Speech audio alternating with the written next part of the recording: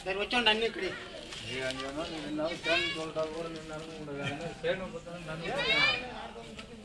அந்த மாதிரி தான் பழக்கம்.